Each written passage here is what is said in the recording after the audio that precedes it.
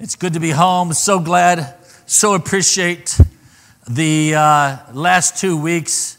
Pastor Ham and the great word that he spoke. What a powerful word on the greatest story. And of course, Pastor Rob last week and encouraging us with first fruits and uh, the, the many stories in the Bible that talk about first fruits. I thought it was a powerful message. And of course, three weeks ago, Pastor Darla preached the first message on first fruits. If you haven't heard any of those, I encourage you to go hear those and how it's important. You know, for me, I, I want to be a lifelong student. I want to continue to learn about the Word. There's things in the Word I still don't know. There's things in 30 years I'll be learning for the first time. And so I want to continue. Though I've never exhausted the Word where I say I know everything. There's so much more to learn and so much more to know. And uh, so as we begin this morning, I want you to turn over to uh, the book of John, chapter 12. John, chapter 12. And I want to title this Four Reasons to Give, but I'll get into that in a minute. Um, as you heard with Pastor Darla and Pastor Rob, the definition that we use for first fruits is it's a seed we plant in faith and worship and honor to God for all He's done for us and all He'll do for us this year. And so we honor the Lord. Giving is a way we honor God. Prayer, we honor God. Fasting, we honor God. Worship, we honor God. Our lifestyle is an honor to God.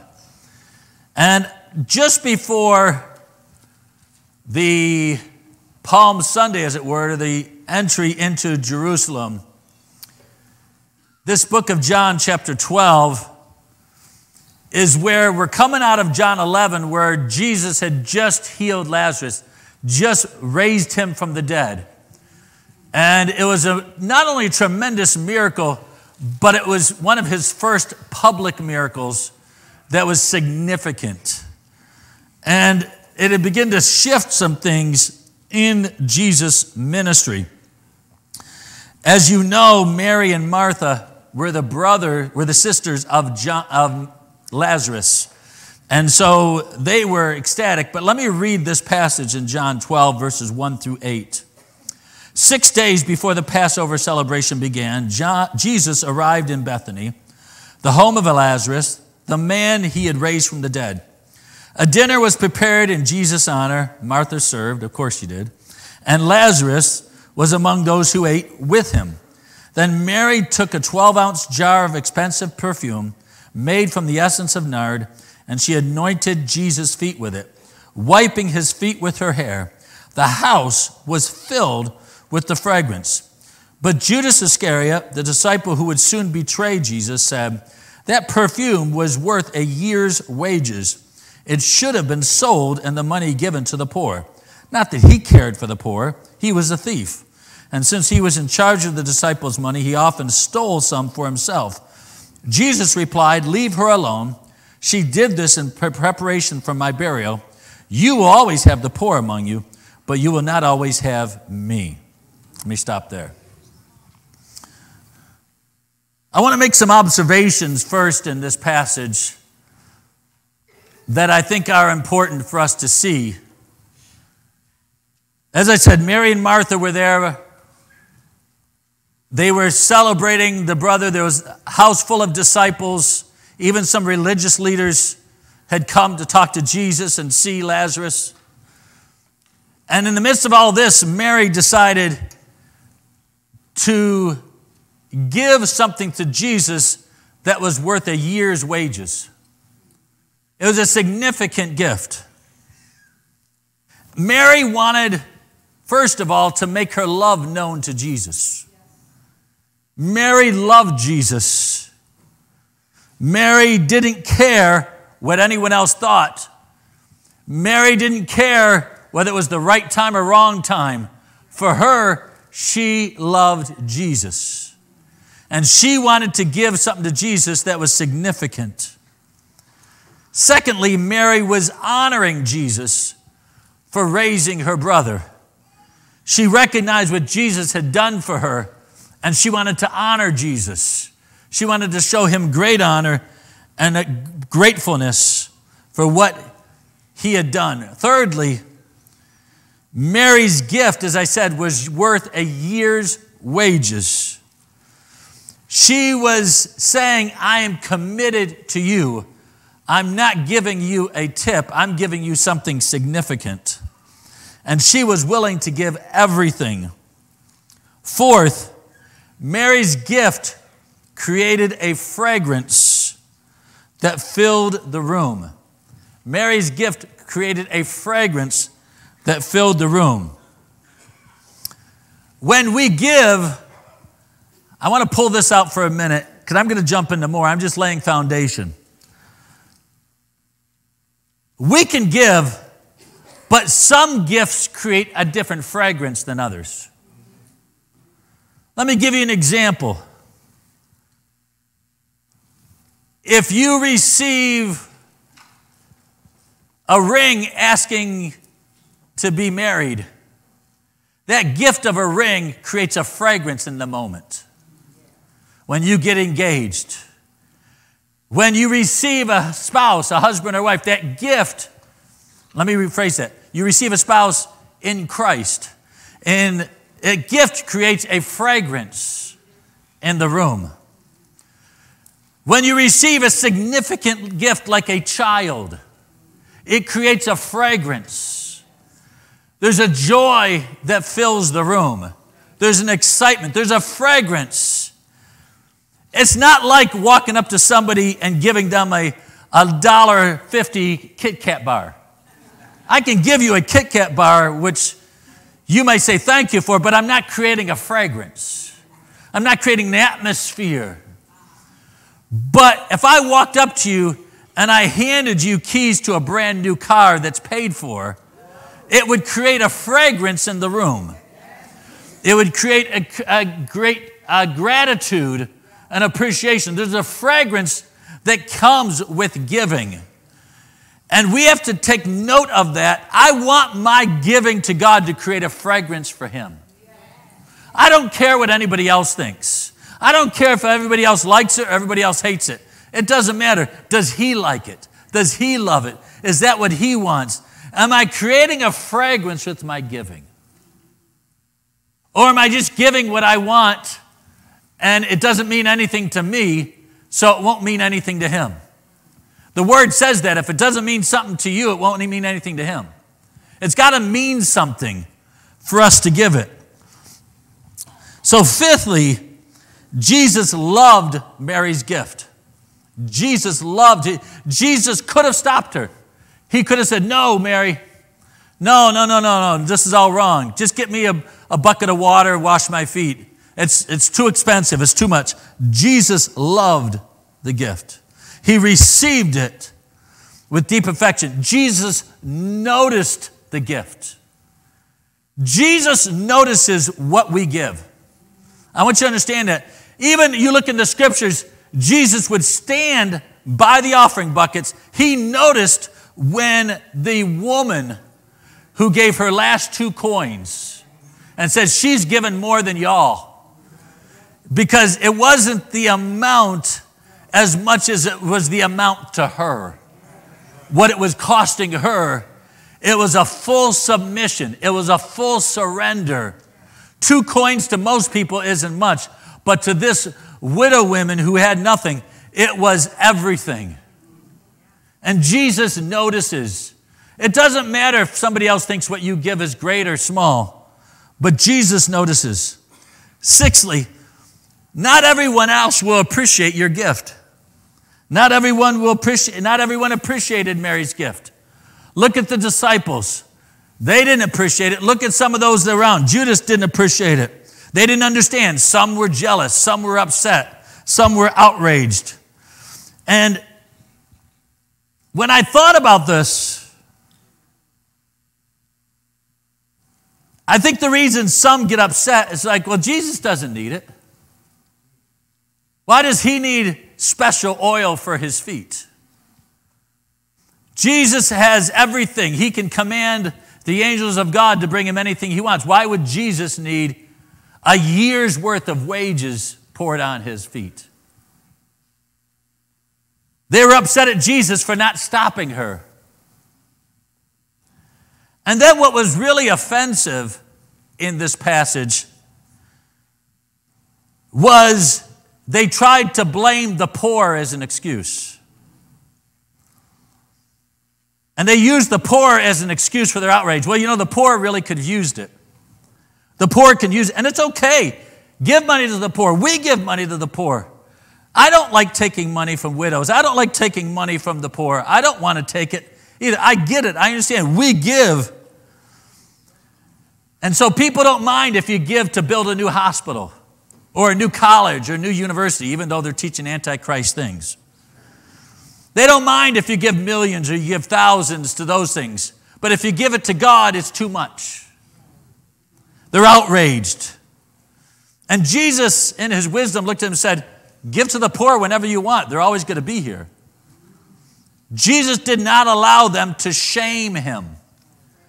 And Mary did not allow them to shame her. Don't allow anybody to shame you in your giving. You give how much? How much do you give to God? You gave all of that. What about your future? What about this? And people will try to shame you in what you give. Here's what I do know in 2 Corinthians 9 7, God says He loves a cheerful giver. He loves it when we give. God loves it when we give to Him. Giving has much, much significance much more than we realize. As I was processing this message and praying, I was brought back to something Pastor Rob said last week in his message.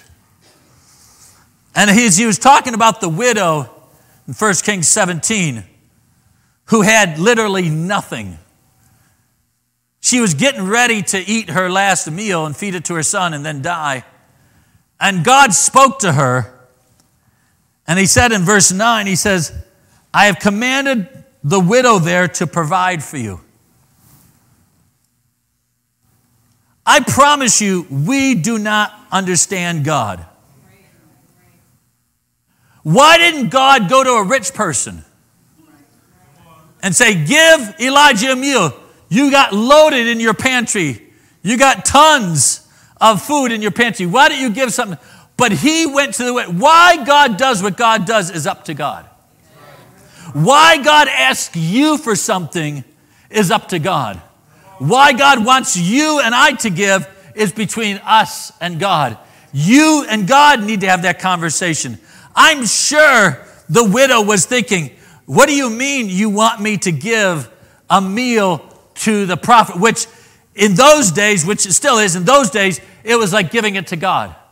And it was giving it to God, and God knew it was giving it to him. How, how am I going to give him something when I, I have one meal left? And this isn't a message about asking the poor for money because my flesh that bothers me. And as I as I listened to his message, something in my flesh says, I don't like that. I don't like that God did that. I, I, I know God did it, but I felt bad. I felt bad for the widow. I don't want to take anything from them. But the problem is, when you think like that, that means you've got to have a better relationship with God. Isaiah 55 9 said, For my ways are higher than your ways, my thoughts are higher than your thoughts. I can tell you the problem that I have sometimes. The problem that I have, that I believe some of us have, is I don't think like God enough. I don't think the way God thinks. My flesh can get in the way. My mind can get in the way. My plans, well, you know, I got this plan for my money. I got this plan for my children, for my retirement. I got this plan. And so I can get in the way of thinking, well, you know, I can only do this. Because I don't think like God. And I have to continue, the Bible says, to renew our minds. That we think like God. How many want to think like God more?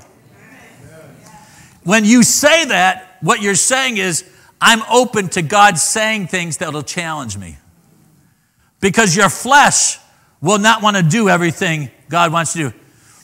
God may have told some of us to fast this year, and some of us are like, well, I want to, but my flesh says no. And maybe you started, maybe you struggled, and we can struggle. We can struggle in different areas of our life with God. It doesn't make you a bad person, it doesn't make you a bad Christian. You just got to understand God's ways are higher than my ways. And for us to say things like, well, God would never ask a poor person to do that, you don't know the Word of God. You do not know the Word of God. Like I said, my flesh grinds against it. But because I know the ways of God and I continue to know the ways of God, I understand that He does things for reasons that I'll never understand. I thought about it and I thought about my, what if I did that to my son? My son's in college and uh, he doesn't have any real money. He's got a few dollars here and there. He don't, he don't mind me talking about him. The other kids don't like it, but he doesn't mind. So he's, he's got college money. We all know what college money is. Right, you got ramen. And so you got college money. But he's got a few dollars he's saved up, and, but not a lot. And I thought, I thought, I'm just putting all your business out there, I know. I'm sorry, son. It's a good example, trust me. And so, what if I went to him, out of everybody I know, I picked him out and I said, Son, I want you to give me everything you've got. Some people would say, that's not fair. You got paychecks, you've got all the, you've got income here. Why are you asking to clear out? Son, I want you to give me all your savings. I want you to give me all your checking. I want you to give me everything. And I don't say anything more. I just asked him for that. That would offend some people. But maybe I'm asking for different reasons. What if one of the reasons I was asking was, like God asked us, is he submitted to me? Does he trust me? without me telling him? What if I'm asking to see his response because I know he doesn't know what I'm getting ready to do for him? He doesn't know. I'm testing him because I'm getting ready to do something for him that he may need, or I may give him something that he just wants. Something to bless him but I'm not telling him all that because I know the word, I know the scriptures. And I understand in the scriptures Luke 6:38 says given it'll be given to you pressed down shaken together and running over. I know that scripture Luke 6:38. I know Galatians 6 7 that says, Whatever a man sows, he will also reap. So I know the principles of sowing and reaping. If I plant something, I'm going to reap something. And I've taught that to my kids. I also know 2 Corinthians 9 6. It says, He who sows sparingly will reap sparingly. He who sows bountifully will reap bountifully. I know the word of God. But I also know James 4 3. James 4 3 says, Even when you ask, you don't get it because your motives are wrong. And you want what you want for your pleasure. So I understand the balance of sowing I also understand the balance of giving when it's just something I want. And if my son said to me, Dad, I'll give it to you if you give me a new car or you pay off all my schooling. Now, anybody would make that trade. But that would be a wrong mindset. If I had to agree all right, son, you give me what's in your accounts, which I know what's in his accounts. and I'll get you a new car or I'll pay off all your schooling. That would not require any faith from him. That's just a good deal. Everybody would take that deal.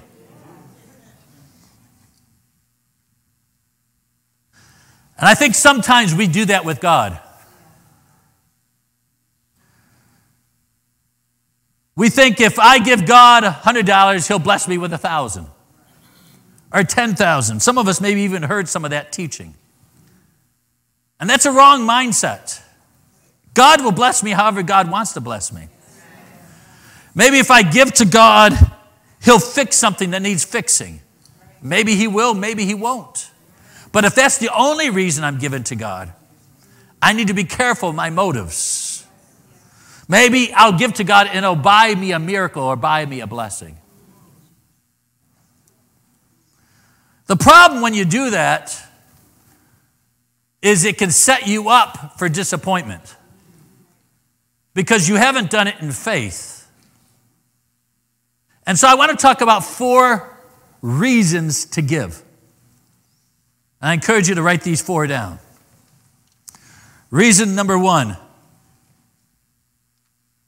sometimes we give just because we love Him and are grateful for everything He's done for us.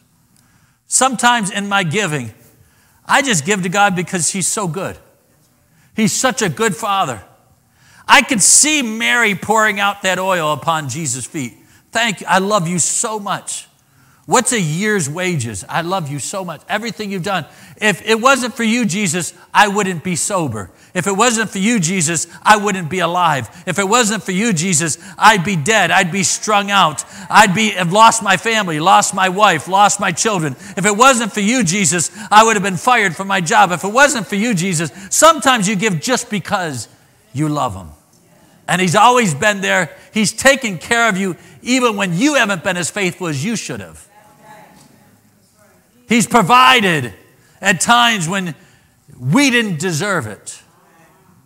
His mercy and His grace on our lives. Sometimes you give to God just because I love you. And I thank you. We're coming into Easter just because of Jesus, just because you gave me Christ. I love you so much. I honor you so much. I thank you so much. You're such a good father. Just because. Second reason sometimes we give because we are totally surrendered to Him and we put our complete trust in Him. Sometimes we give because we're totally surrendered. Jesus, I am surrendered to you. This money means nothing to me. I am surrendered to you, to your plans for my life, to your desires for my money. I don't care if you want to wipe out everything I've got. I am surrendered. Think about that for a minute. If you, especially if you have a lot, what if God asked you for everything? Are you that surrendered? Are you that surrendered where if God asked for everything, am I that surrendered? I want everything in your accounts your 401k, your retirement, your stocks, your bond, everything you've got saved. I want it all. Am I that surrendered? And do I trust Him that much that I'll give Him anything He wants? Reason number three sometimes we give because He's asked us to give. Sometimes we give just because He asked. I want that. What do you mean you want? Th- I want your tithe. We see that in the word. He wants our tithe. I give because that's what he wants. We see Jesus right as he's coming, before he comes in Jerusalem, he says to the, the disciples, Go get me a donkey that's never been written on and tell them to give it to you. Now, the guy giving it could have felt some kind of way giving it. You're not even paying me for it. And he says, I don't want one of your raggedy donkeys. I want one of the ones that are new, that have never been sat on. I want that kind of donkey. I don't care. You can see other donkeys around. I'm looking for a specific one. I want that. And I want it as a gift. Sometimes God will just ask you for that. Say, I want that. And then, fourthly, sometimes we give because we need a miracle and we want to plant a seed in faith. Sometimes we give because we need a miracle and we want to plant a seed in faith. When I talk about seed, to me, the word seed is a very wide word. If you're not putting time into prayer, Prayer is a seed. Fasting's a seed. Intercession's is a seed. Um, serving is a seed. Witnessing is a seed. Watering that seed. If I'm not putting in the time, there's got to be a balance to the seed. Some people will plant a seed, but then they don't live their life the right way. If I'm going to plant a seed, I want to plant my life as the seed along with the finances. I'm, sometimes God's asked me for something. Give me a seed and I'll provide. You've heard us tell testimonies about our house and about the birth of our children and how we planted seeds for that. And even if God didn't give us a house, and even if God didn't give us our children, I would still trust God. Because there's times when I planted seed where I've seen God do a miracle. There's times when I planted seed where that miracle's taken years. There's times when I planted seeds and I've never seen it come to pass. I, at the end of the day, have to trust God. Because sometimes the seed I'm planting is not for the right thing that I need. And God knows what I need. And God knows what I'm supposed to have. Yes, some things I do need to plant a seed for. Some things I don't need. I just want. And sometimes we plant in error because, like, well, I want a million dollar house. Nothing wrong with a million dollar house. Nothing wrong with it. But does God want you to have a million dollar house? Nothing wrong with a $50,000 house or a $100,000 house or a $10 million house. I have passed no judgments. What does God want for me? What job does God want me to have? Where does He want me to work? What is His plan? Because sometimes we plant seeds for things God doesn't want. And so I have to hear, if I'm planting a seed, I have to know it's from God. What am I planting a seed for? Because otherwise I'll set my faith wrong. And my faith will be in what I want rather than in Jesus. Because at the end of the day, what I really need and what I really want is more of Him. I may need a miracle in the natural, but what I really need is Him.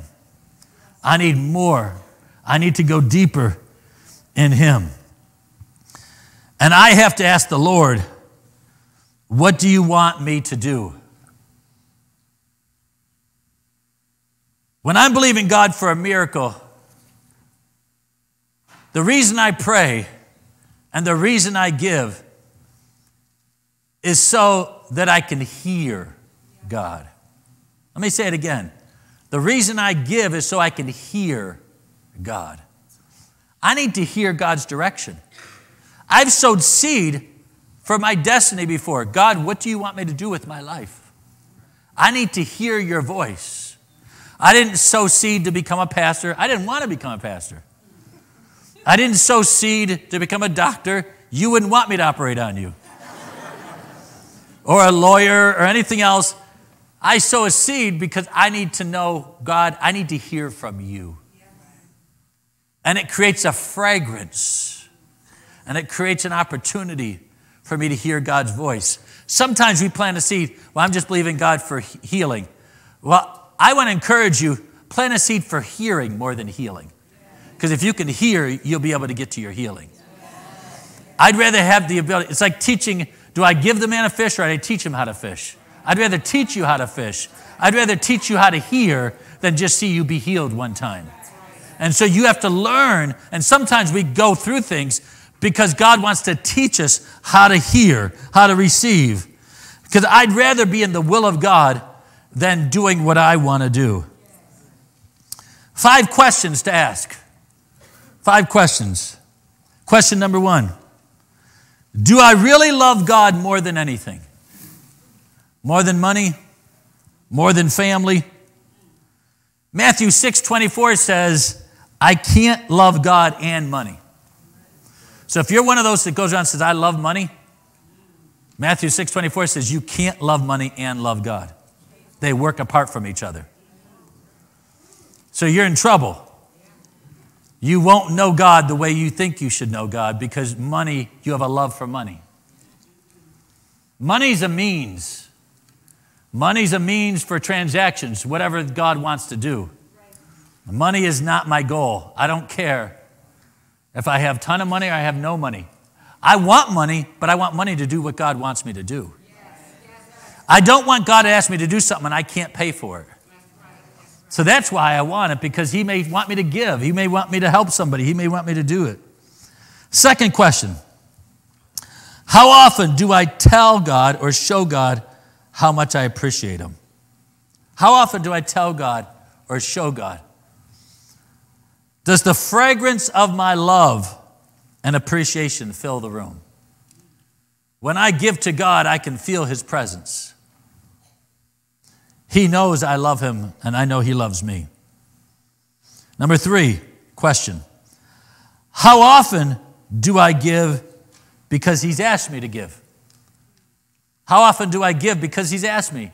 Because we know He asked for the tithe. He says the tithe is holy, it already belongs to me. And we know He'll ask for offerings. We see Him do that throughout the Word. Here's the challenge some people say to me, Well, I didn't hear God tell me anything. And I'll always say to them, Did you ask? You know, you know, kids are smart. I didn't hear you call me, Mom. Well, your stereo is up to 100, the door was closed, and you had headphones on. You know, sometimes we don't hear because we don't want to ask. Because if we ask, God may tell us. I don't want to ask God about tithing because He may tell me to tithe, and I love money too much. I don't want to ask God about offering. I don't want to ask God about giving because if I ask Him, He may tell me to give, and I don't want to give. Or, I, or even better yet, I'll just give God what I think He should get. Or what I can afford. And it's a very dangerous place to put ourselves thinking that we know what God is thinking. Question number four Am I willing to plant seeds of faith for my miracle. Like I said before, seeds include prayer, fasting, intercession, serving, giving. Do I continue to water those seeds in prayer? Some of us, we really do need a miracle. And we need to plant seeds. I know the scriptures on sowing and reaping. I know they're true. I know that God will bless you. I know God will pour in. Again, He will give you what He wants to give you. Question number five Are we selective givers or surrendered givers? Am I a selective giver or am I a surrendered giver? God, whatever you want. God, whatever you want.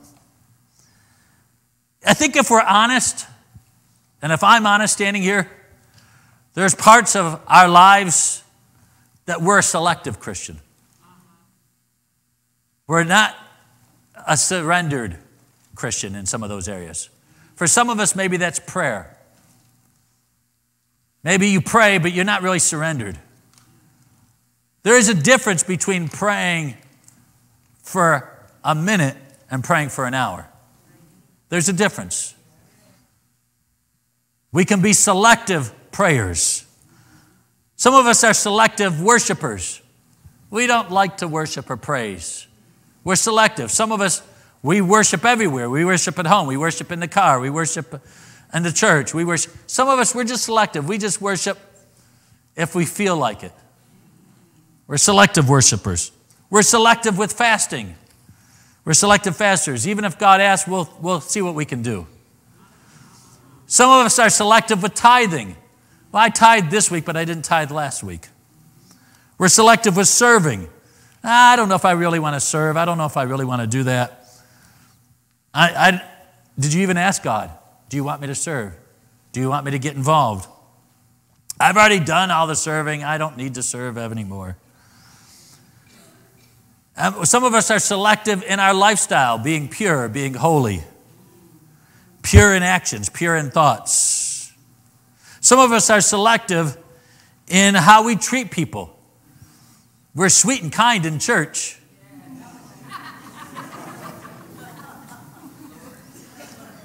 Let me ask your children how you really are at home. Let me ask your spouse how sweet and kind. The persons you should be the sweetest and the kindest to are right in your house. Are you submitted to being sweet and kind, gentle, long suffering, patient? All those great fruits that we all enjoy to eat? Are we submitted or are we selective?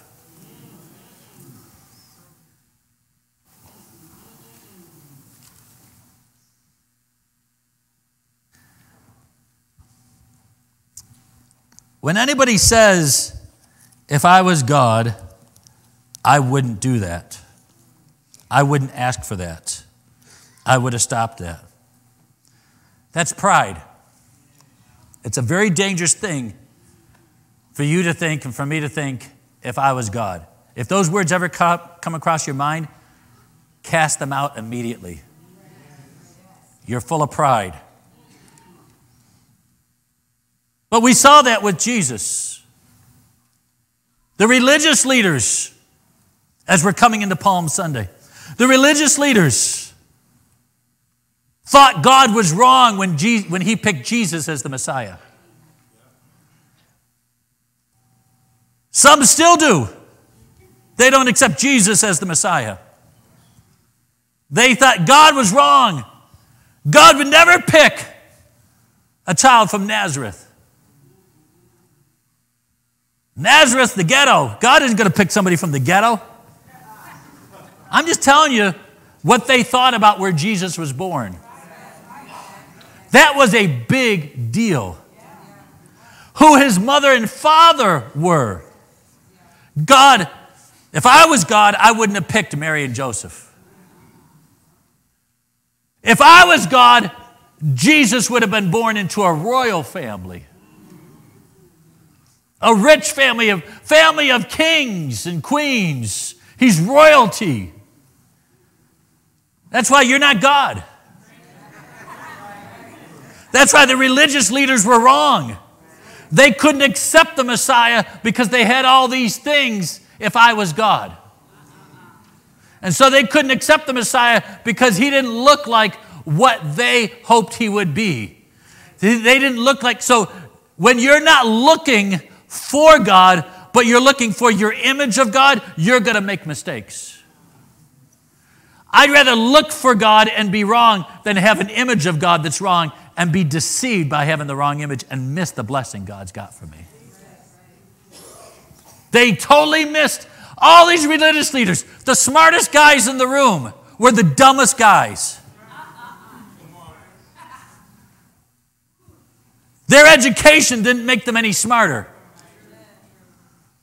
We can be deceived by our education. We can be deceived by our experiences. We can be deceived by our intellect. We can be deceived very easily because we think God should do it this way or that way, or God would never ask for this or that.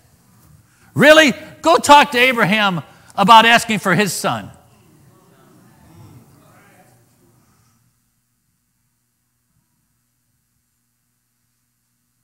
If you don't think God will ask for that, that's probably the exact thing God wants.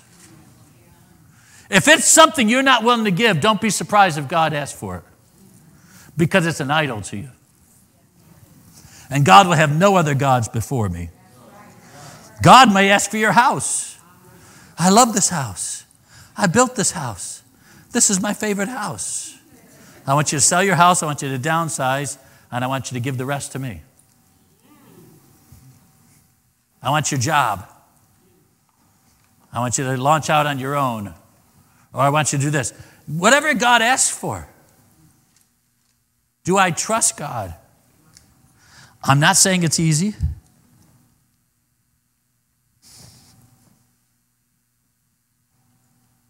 Some pastors are afraid to preach like this. And the reason they're afraid, it's genuine. They don't want to feel responsible if God doesn't come through. I don't feel responsible. That's why I'm not afraid to preach like this. I don't feel responsible. This is between you and him. It's not between me and you. I'm not asking you for anything, and I'm not promising you anything. That's between you and the Lord. But we think we've got to defend. I don't have to defend God for asking. If God wants that, then God can have that. But your beef is not with me, it's with the Lord.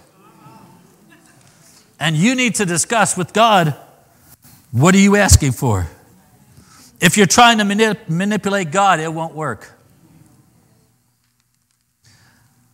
I don't know if you realize this, but I pray all the time for you. I pray for the blessing of God upon every person in this congregation. I pray for increase and bonuses and checks in the mail for you all the time. I pray that God will bless you exceedingly abundantly above all that you could ask or think all the time. Well, Pastor, why do you do that? Because if God blesses you exceedingly abundantly above, you can do exceedingly abundantly above. And you'll have the resources to do exceedingly abundantly above. So when God asks you for something, you'll have the ability to do something because God's blessed you to do something. I pray and ask God to give you wisdom on what to buy, what not to buy, what to spend on, what not to spend on. Sometimes we buy things we, God doesn't want us to buy, and we don't buy things God does want us to buy. And I pray all the time that God would bless you so much that you'll have enough. But here's the thing for me to have enough means I've got to stay in His will. And that means there's times God may want me to quit something and do something else. There's times God may, I may want to launch out on my own, and God says, stay in your job. Well, I'm ready. I don't want to be anybody else's, I don't want anybody to boss me around. Well, God may be saying, you need a boss, stay there.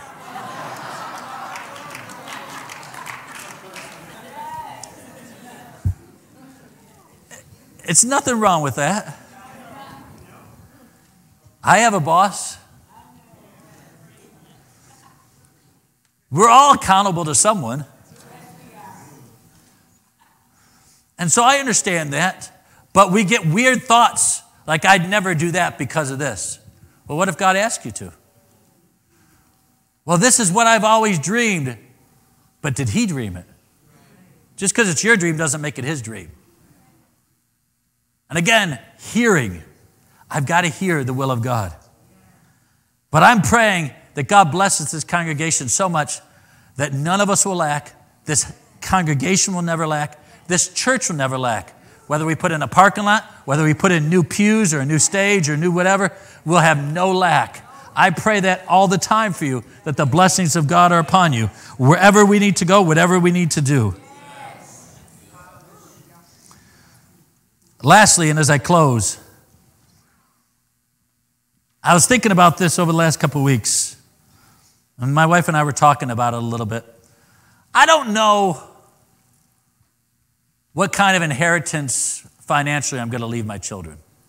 I know the Word of God says, leave an inheritance to your children's children, but they're not born yet. And so I don't know what kind of inheritance I'm leaving to my children or my children's children. I don't know what kind of financial inheritance. I don't know if they'll have much. If my wife and I passed away today, they, sorry, you don't have much. we just spent it on a wedding and on a, uh, a little chip. It's all gone. Sell the house, take what you can get.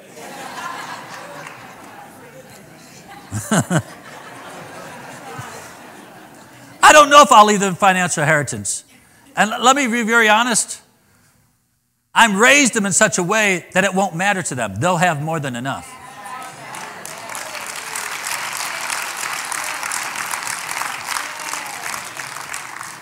But I do know the inheritance I want to leave them is the inheritance of knowing God, of loving God, an inheritance of knowing how to pray, of knowing how to fast, of, of how to walk by faith and not by sight, the inheritance of serving the Lord, the inheritance of having the Word of God and hearing from God. That's the inheritance I want to leave my kids. I do want to leave them an inheritance. Whether it's financial or not, it doesn't matter to me. But for me, the spiritual outweighs the financial by a million. I want them to serve the Lord What good is it if they gain the whole world but they don't know Jesus?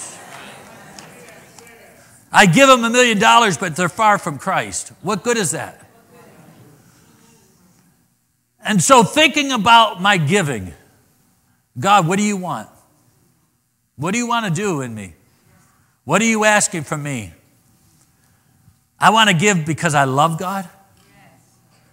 I want to give because I'm completely surrendered to God. I want to give because He asks me to give. Nothing wrong with Him asking. He asks all through the Word of God. Sometimes asking is a test. I want to give because I may need a miracle. I may need a healing, and God's asking me to plant a seed for that. I don't know.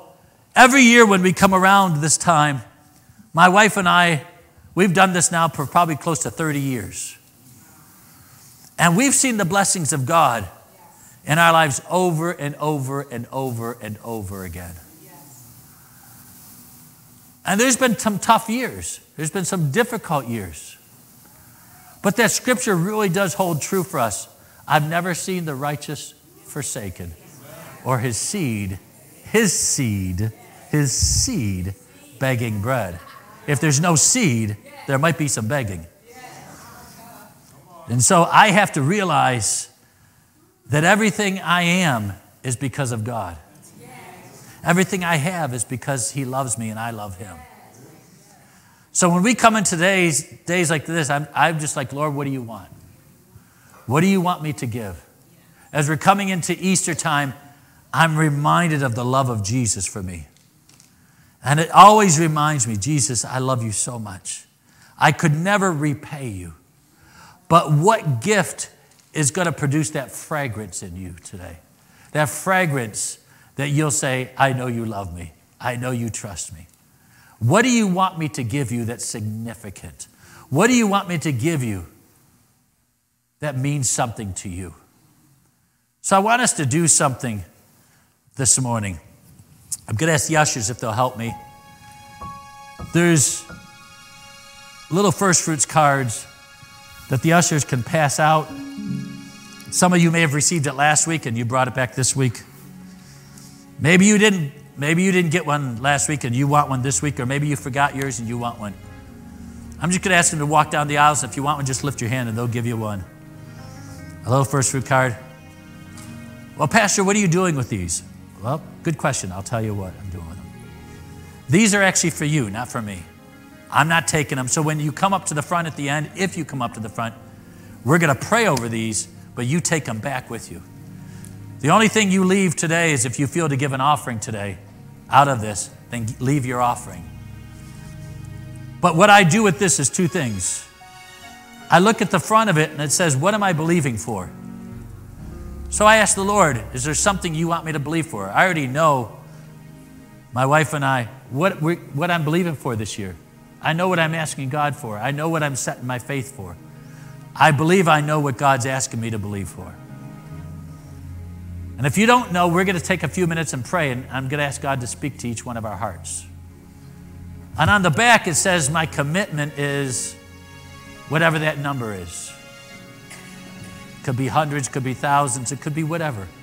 Whatever that number is that God puts in your heart, that's the commitment that I'm going to bring to God over the next four weeks. Over the next four weeks. Maybe you have it today, maybe you have part today, you're going to bring it. By the end of April, you're going to give for a first fruit offering, for a seed offering, an offering in faith, an offering in love. What am I believing? What's my commitment? And I encourage you, ask the Lord for both sides. Lord, what do you want me to believe for? And Lord, what do you want me to give? Don't be afraid to let God speak to your heart. You say, Well, Pastor, I don't feel to be a part of this. You don't have to be. In fact, if you're new here, you really don't have to be. But even if you've been here forever, you don't have to be a part of this. It's if God speaks to you and you feel to be a part of it. There's nothing in me that will ever want to force anybody to give anything. Just like I don't force people to get saved. I don't force people to serve. I don't force people to, I, I don't want to ever do that. But this is between you and the Lord. This is something you and the Lord need to discuss. If you're with your spouse, this is something you and your spouse could talk about.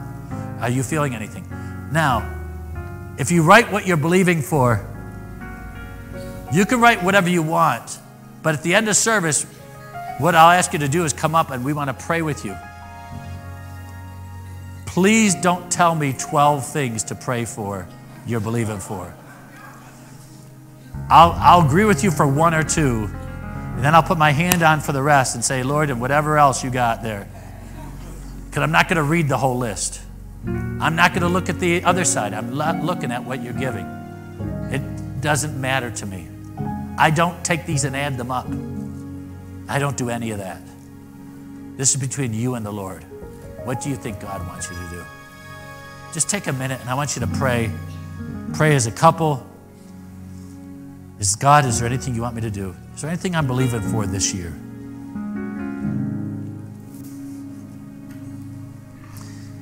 If you are going to give something, there should be envelopes in the back of your pews. You can give that way. You can just put it the first fruits. Or you can give uh, through your app, through the text to give. You could give that way as well. Um, online, you can give that way.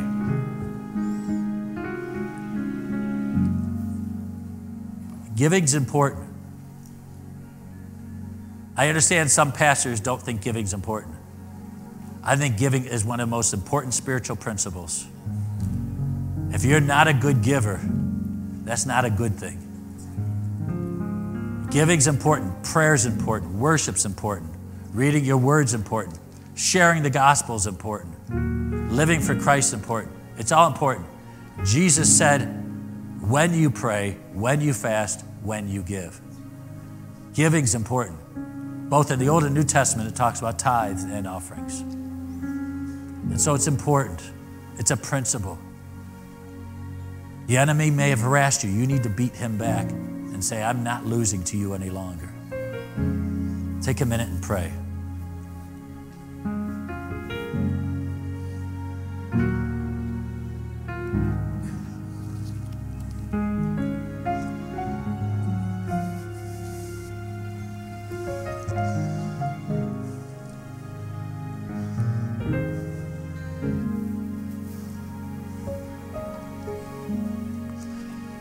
Can have the ushers bring some buckets up, maybe about six or eight, just a couple on the seats and a couple over here.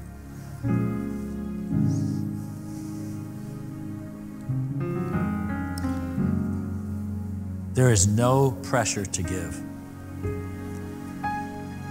Just put a couple in the middle if you can. Just give me two right there. Take another one down here, Sister Jessie.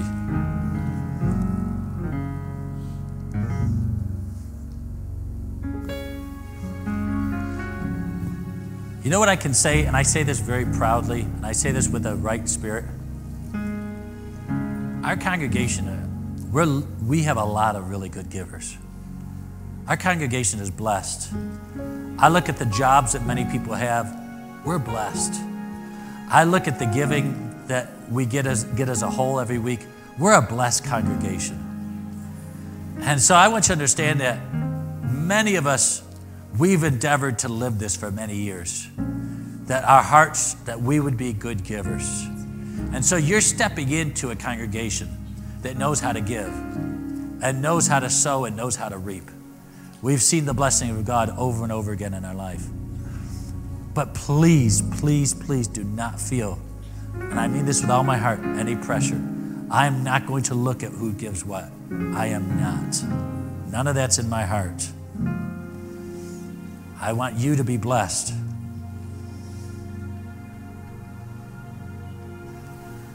Before I pray for the offering, I want to just, just bow your heads with me. Is there anybody here you don't know Jesus Christ? And you want to give your life to Christ this morning? And you want to surrender yourself to Christ? You're not really surrendered to God. But today's the day you say, I want to really give my life to Christ. I want to serve Him with all my heart. If that's you, will you put your hand up really high so I can see it? Say, I want to give my life. If you're in the balcony or you're on the floor, I just want to give you an opportunity. I don't know if there's somebody here that just doesn't know Jesus, but you really want to give your life to Christ. If that is you at the end of service, when the pastors come down front, they're coming down front in a minute. When they come down front, just come to one of us and say, I'm giving my life to Christ. And we will pray with you and believe God with you. Now, Father, I ask that you would touch this congregation. I ask, Father, that you would speak to them, Lord, what they need to hear. Father, I rebuke all negative thoughts. I rebuke every lie of the enemy. And Father, I ask that the preciousness of your spirit would be honored today. That, Father, even as this message has come forth, Lord, I just ask that your spirit would lead and guide us. And Father, whatever you want to do in us this year, whatever you want to do in us individually, whatever you want to do in our homes, whatever you want to do in our church, in our city, Father, we want to be used by you. And we just ask, Lord, that you would use us, speak to us. Let us really hear your voice and trust you. You are a good Father. In Jesus' name. Thank you so much for watching this video. We pray that it encouraged and blessed you. We invite you to check out more of our content. Make sure you subscribe to our channel. We'll see you soon.